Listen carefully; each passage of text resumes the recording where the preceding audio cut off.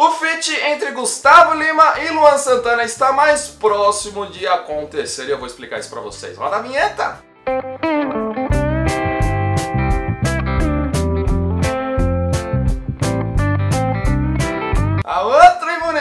Eu sou o Guilherme Bento, vocês aqui no canal TV, meu sertanejo, canal mais sertanejo do Brasil.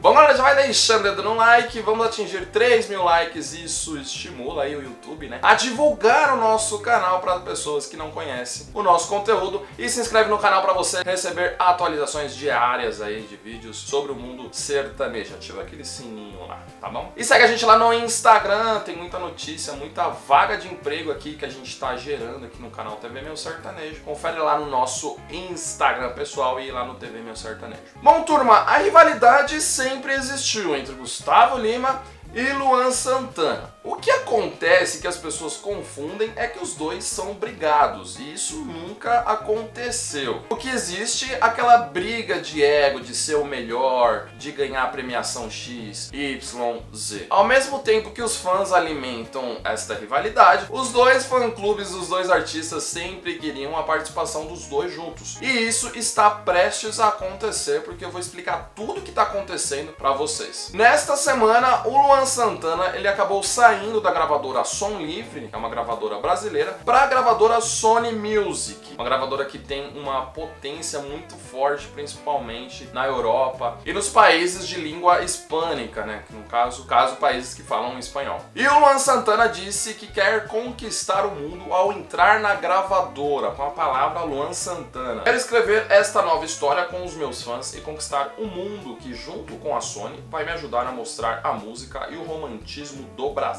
Celebra Luan sinalizando a intenção de investir no mercado internacional. O foco do Luan Santana é precisamente o mercado latino, né, formado pelos países de língua hispânica. Ao longo de 2021, o artista deverá lançar músicas gravadas em espanhol com produtores musicais atuantes desse mercado latino. A partir da entrada do Gustavo Lima na Sony Music, é nítido a diferença de carreira que o Gustavo Lima atingiu. Logo no primeiro, no segundo, se não, se não me engano, DVD ali, o Cariri, do Embaixador, já teve participação né, de um grupo de fora, então é muito bacana ver essa diferença que a gravadora faz na carreira do artista. E aí todo mundo se pergunta, ah, agora o Luan Santana na Sony Music vai ter a participação, porque na Som Livre nunca teve a participação, um feat entre os dois. Bom, agora eu vou explicar o porquê está muito próximo esse feat entre os dois. Bom, em 2015, Gustavo Lima e Luan Santana participaram do projeto Bem Sertanejo, lá do Michel Teló, e os dois cantaram juntos. É nítido ver ali que os dois não tem briga um com o outro, é, sempre foi tranquilo essa rivalidade. Confere eles dois cantando. Bem, voltei,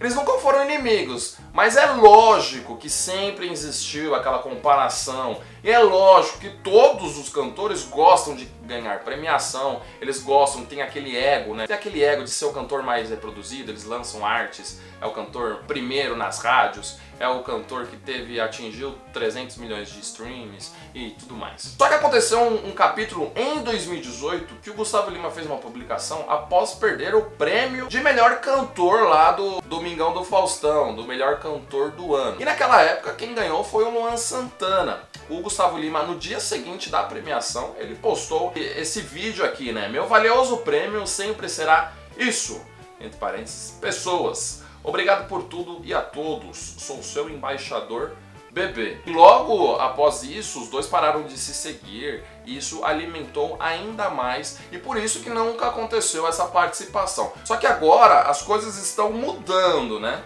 Boatos de uma possível reconciliação que tem aí no meio sertanejo entre Gustavo Lima e Luan Santana se deram após os cantores voltarem a se seguir no Instagram, assim que o sertanejo rompeu o seu casamento há cerca de dois meses aí com a Andressa Suíta. E logo em 2021, os dois participaram do próximo número 1 um, Vila Mix, e se mostraram muito mais unidos e próximos, inclusive cantando juntos. Rolou até um abraço ali entre o Luan Santana e o Gustavo Lima na hora de cantar. Vou mostrar esse momento para você.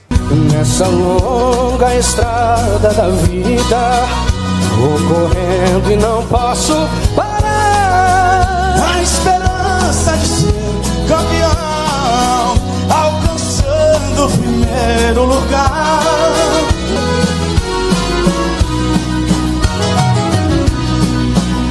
Esse é o exemplo da vida para quem não quer compreender. Nós devemos ser o que somos, ter aquilo que bem merecer. Olha como as coisas mudaram, né? No início de 2021, o Gustavo Lima ele deu uma entrevista comentando sobre o Luan Santana, questionado sobre uma parceria, se poderia acontecer uma parceria entre Luan Santana e Wesley Safadão. O cantor não descartou a possibilidade e rasgou elogios. Por que não? Não é mesmo? Os dois, no caso Luan Santana e Wesley Safadão, os dois são grandes representantes da nossa música. E essa é uma sugestão que pode sim ser amadurecida, declarou o Gustavo Lima. Então, alimentando ainda mais que está tranquilo, está tudo certo e pode sim acontecer essa parceria entre os dois. É legal falar que ultimamente está dando muito certo essas parcerias e isso valoriza ainda mais a nossa música sertaneja, né? Ultimamente a gente viu aí Jorge Mateus com Marília Mendonça, vai sair inclusive esse feat. Uma música que está rendendo muito aí, que é a Facas, que é Diego Vitor Hugo junto com Bruno Marrone. Então, sempre aconteceu parcerias, mas ultimamente as parcerias vêm dando muito certo. Então acredito que pode acontecer sim uma parceria entre Luan Santana e Gustavo Lima. É nítido que os públicos são diferentes. Nos últimos anos a gente viu isso que é claro que o público do Luan Santana é muito mais jovem que aquele público do Gustavo Lima, que as pessoas ali de 25, de 20, né, 20 a 35, 40 anos, podemos dizer, que é as pessoas que vão no show, bebe cachaça, gosta de uma moda sertaneja, aquela moda que é rasgada e tudo mais. E já o público do Luan Santana é aquele público mais não vou falar adolescente, mas é mais jovem, que gosta de uma pegada mais pop.